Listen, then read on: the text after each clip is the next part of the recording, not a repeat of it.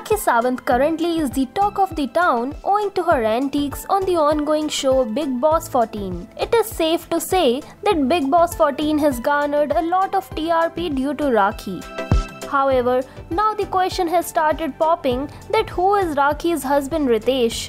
The actress has kept his identity under wraps and never speaks much about him.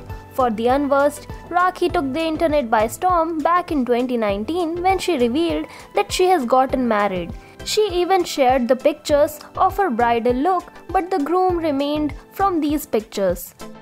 Now, Rakhi Sawant's mother Jaya Sawant has opened up about her son-in-law Ritesh. In her recent interaction with Times of India, Jaya Sawant said, Yes, Rakhi's husband Ritesh is taking care of me and all the medical bills and everything. He is there for us. He is trying hard to come to India and I have asked him to come ahead and reveal his identity. He has assured me that he will come before the audience and accept Rakhi as his wife.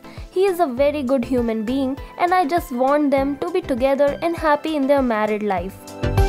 Well, after this statement, all of us are eager to know who has Rakhi Sawant gotten married to.